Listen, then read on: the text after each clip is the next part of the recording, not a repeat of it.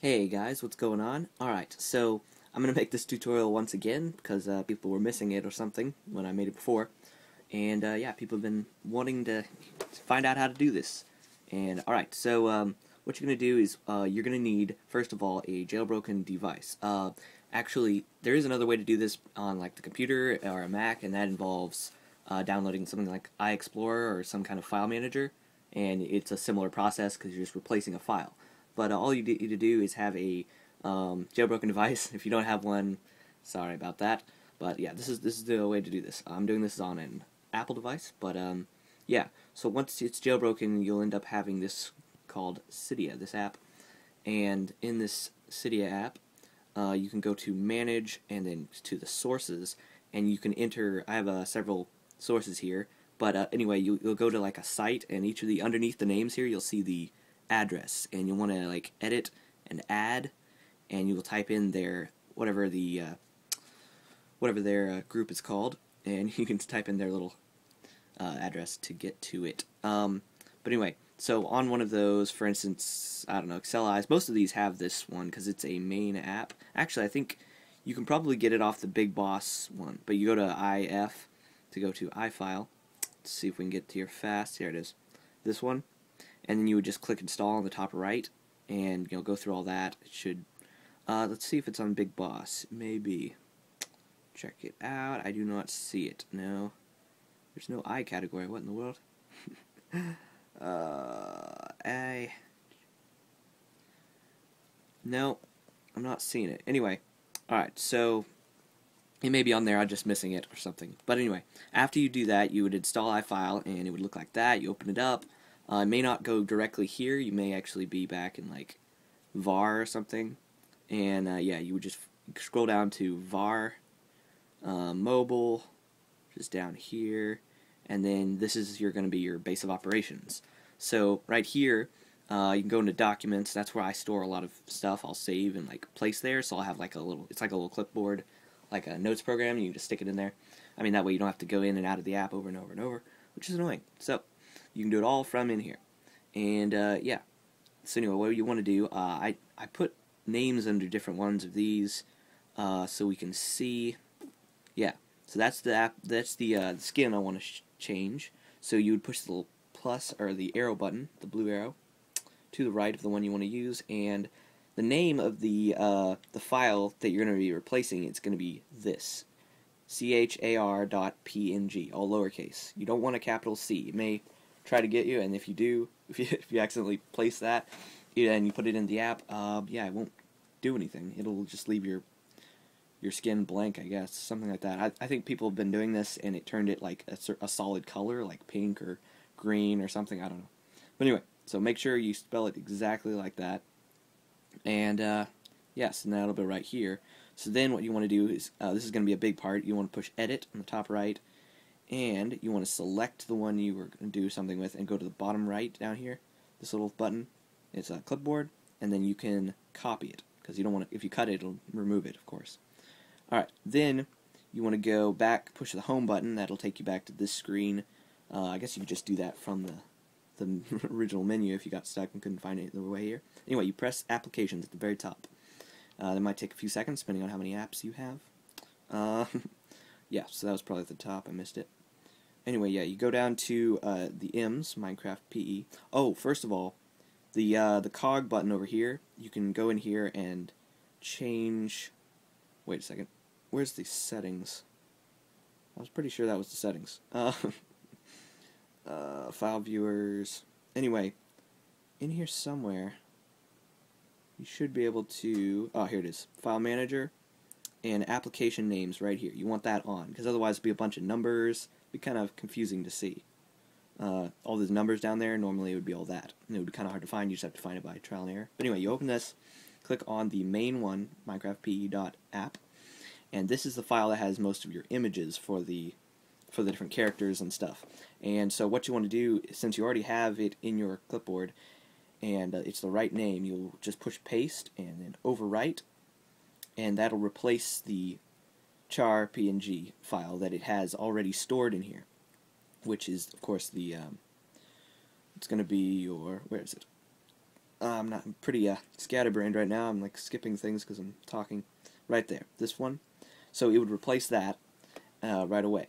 So then, uh, then you can just go right to your Minecraft app, and it should be. If you did all that exactly the way I did, you will have an you'll have your skin all prepared. Let's see if I have that open. All right. So let's try this. Let's open up. Eh, switch this around. Come on. Play.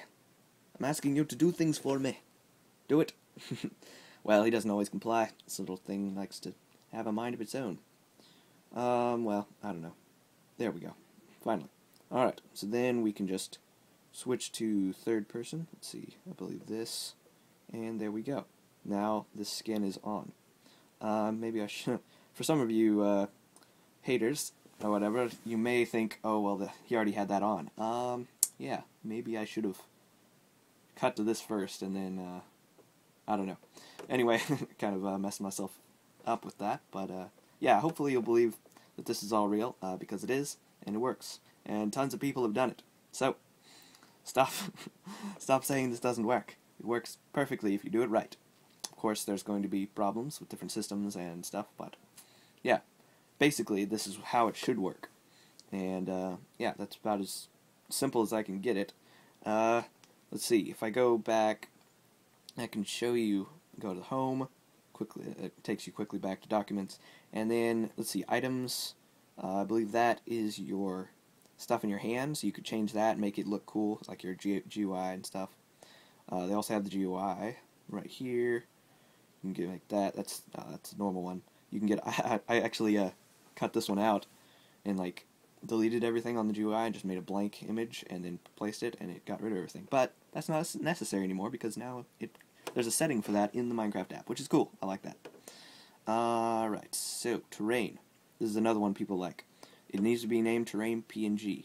This one is your texture pack, uh, sort of. I mean, doesn't replace everything like sun, moon, stars, and all that stuff, but uh, places all the ground items and their blocks and stuff.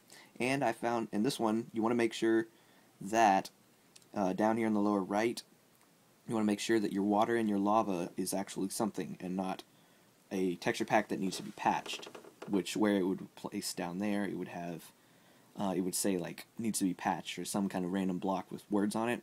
So you want to make sure if you want your lava and water to work look good, you need it to be look like that.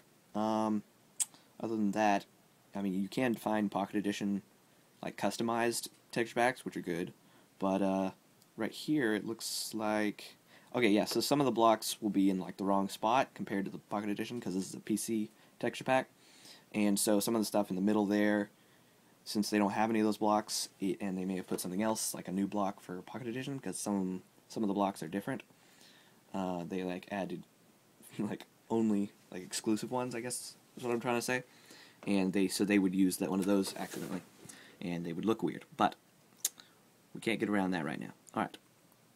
So yeah, you want to do the same process for edit. Uh, wait a second. Select. There we go. Almost skipped that. Copy. And then go back to your applications. Head down to the Mighty Minecraft PE. Go back to document. And you can paste. Wait. I'll uh, save you the trouble here. Alright, so terrain. Let's go down to T. The T's. Let's see. How do you spell T? What is a T? Oh, wow, I went way past it. Alright, terrain PNG. Uh, wait a second. Let's done this thing so we can show you. This is what it looks like. Wow, that does have a lot of new stuff down there. Well, anyway, for the sake of this uh, tutorial, we'll just skip that. Oh, wow, what in the world? There's like a, a large mushroom skin over there. Alright, enough. Alright, so we'll do edit and paste over right. There we go. And then we're done. Terrain PNG. And look, it is now a version of DokuCraft. Check it out. So yeah, that's how it's supposed to work. It replaces the file because it's just it's just a photo. I mean PNG, that's a transparent photo, or whatever. I forget what the uh, acronym actually stands for. But anyway, this uh, video has gone long enough, and yeah, that's basically how you do all of that stuff that I do for my videos. I mean, everybody's always asking, and I mean it's fairly simple. And once you've done it like several times, the it just becomes fluid motion. I, I don't even think about it anymore usually. I can just switch out stuff all the time. I just go, I just went on like Google and or uh, you could go to the Minecraft forums they and search you know texture packs or um, I don't know skins and stuff that you like. There's even skin generators that you can like make your own skin or I don't know whatever whatever you want to do, man. And yeah, you just take the image as long as the image is a PNG and everything and is the correct thing, you can always switch it out. And then of course, if you get an invalid one, it'll show you or it won't work, and you can just replace it back. That's why I like to save my original terrain and uh, skin and everything in, into that documents section. That way, if I do do the wrong thing, which I haven't ever yet, but if it ever happened, I'd have the backup and I could just put it right back in we'd be fine. Good to go. Alright. Uh, I think that's covering everything. So, uh, yeah. I will say a hasty goodbye.